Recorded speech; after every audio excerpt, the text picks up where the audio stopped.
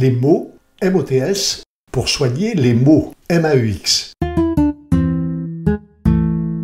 J'adore les mots. Les mots MOTS, bien entendu. Hein. C'est pour ça que je me demande si les mots MOTS ne peuvent pas soigner tous les mots MAUX. Mais oui, parce que je ne sais pas si vous avez remarqué, si toutes les espèces du règne du vivant sont pourvues d'un langage, seule l'espèce humaine, c'est-à-dire la nôtre, est dotée de la parole. Nous sommes le Verbe incarné. Ce Verbe incarné qui nomme toute chose, et par là les fait exister.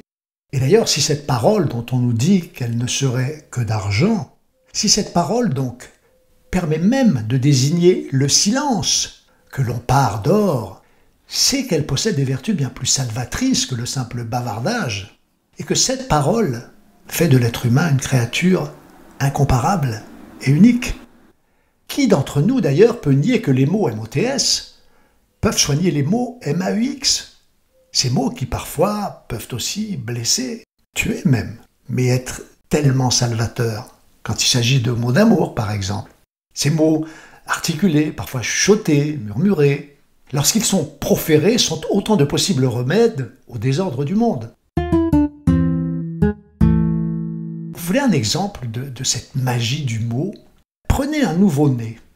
Eh oui, un nouveau-né, ce, petit être apparemment sans pouvoir ni défense, cette manifestation absolue de la beauté du vivant, devant laquelle notre nature profonde ne peut pas faire autrement que de, s'incliner, parfois de façon un peu gaga d'ailleurs. Eh bien, ce petit être, dès sa venue au monde, va appeler de son murmure une maman qu'il fait naître de sa bouche, simplement en demandant le, le sein vous savez, le lait, avec ce hum, hum, cette double syllabe.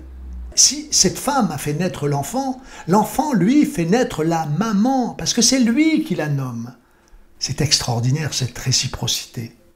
Et c'est rigolo parce que cette double syllabe, dans presque toutes les langues du monde, elle accouche du mot maman. En français, c'est maman, en anglais, c'est mum, maman en norvégien, ummi en arabe, etc., etc. Cette maman, d'ailleurs, qui symbolise la matrice du monde, une matrice sans laquelle aucun de nous ne serait en mesure de témoigner par la parole de la beauté du vivant et de la vie. Alors, si le verbe articulé fait naître toute chose, la mère par l'enfant, la tristesse par la joie, la haine par l'amour, la, fausse note par l'harmonie, la guerre par la paix, le poison par le remède, la mort par la vie, ben ça veut dire que ce verbe a autant la capacité de restaurer le monde, de le réparer pour le préserver, et le conserver comme il nous a été offert. si donc ces mots MOTS peuvent soigner les mots MAUX, ben peut-être qu'on pourrait s'appliquer à, mieux les employer pour mieux nous comprendre, mieux nous connaître.